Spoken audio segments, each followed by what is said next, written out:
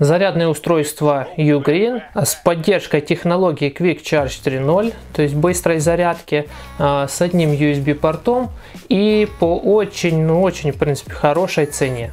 Если вам это интересно, смотрите далее, мы рассмотрим все более подробно.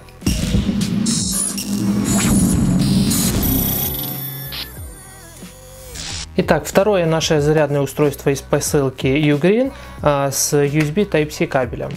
Давайте посмотрим сразу кабель. А, приходит, как вы видите, тоже в фирменной югриновской упаковке Deluxe Computer Cable. А, здесь наклейка, что мы имеем, какой кабель. USB Type-C, здесь USB Type-C и 1 метр длиной. Смотрите, коннектор и контакты позолота идет, позолоченные. И на USB обычный, и на USB Type-C. Ну и длина 1 метр данного кабеля. А, есть фирменные маркировки от Ugreen. Ugreen зарядное устройство с поддержкой Quick Charge 3.0. Как вы видите, упаковка полностью запаяна, запечатана в пленку. А, посмотрим, что нам здесь по спецификациях обещают. 5 вольт 3 ампера, 9 вольт 2 ампера, 12 вольт 1,5 ампера. Максимальный выходящий 16, нет 18 ватт. Это мы все проверим. Кстати, данное зарядное устройство, если у вас э, одно устройство с Quick Charge 3.0, э, достаточно также, достаточно гуманная цена, там стоимость его где-то 9 долларов была. Так, вот наша зарядочка. На тыльной стороне у нас продублированы все характеристики, но смысла нет, я вам все озвучил. А для сравнения, вот э, зарядное устройство с двумя USB портами, которое было в прошлый раз, и AUK с двумя USB портами быстрой зарядки. Итак, тестировать, как всегда, мы будем с помощью набора данных устройств, которые часто вы видите у меня на канале при обзорах таких вот зарядных устройств, либо пауэрбанков. Подключаем. Итак, что мы видим? 12 вольт 2 ампера ходу, так скажем, уже есть. И обратите внимание, там у нас заявлено 18 ватт максимальная, а здесь у нас уже 24 выдает. То есть, как вы видите, за заявленных полтора ампера на 12 вольт без проблем поддерживает наше устройство. Вот как раз полтора ампера, 12 вольт и 18 ватт. Все как и должно быть. 9 вольт 2 ампера, да? 9 вольт. Как вы видите, 9 вольт 2 ампера есть. Точно так же все соответствует заявленному. И 5 вольт 3 ампера. Хотя, смотрите, здесь 9 вольт 2 ампера, это уже 19 ватт. Если данное зарядное устройство использовать как э, не быструю зарядку, а как обычную зарядку, что вполне возможно из-за того, что не все устройства, к примеру, QuickCharge поддерживают, то смотрим 2 ампера свободно, 5,03 вольта. 3 ампера свободно. Это максимум, что можно выжать с данной нагрузки. В принципе, у меня больше не будет.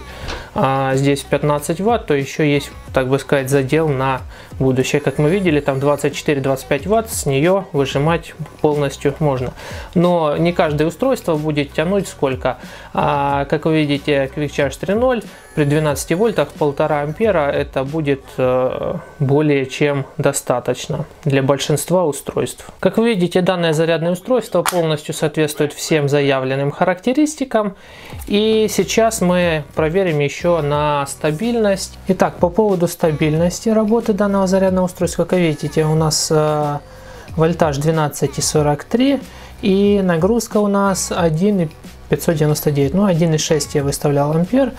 И максимально у нас 19, ну не максимально, а точно 19,87 ватт. А, график, обратите внимание, ровный. А, спадов, провалов, просадок нет. А, Все держится стабильно. Проработала в таком режиме максимальной нагрузки, даже больше, чем максимально, больше, чем заявлено. 2 часа 10 минут. Хороший результат и за такое время любое устройство при быстрой зарядке зарядится. Итак, наше зарядное устройство, вот оно подключено к нагрузке после более чем двух часов. Уже больше под нагрузкой, в максимальной нагрузке в работе. Как вы видели, 1,6 ампер, 12 вольт. Давайте сейчас посмотрим по температуре. Где-то максимальная, которая, вот как вы видите, а, 42. 42 максимальная температура. И это оно продолжает работать. А если попробовать руками, то оно ощущается просто теплым. И не более теплым, даже не горячим, просто теплым.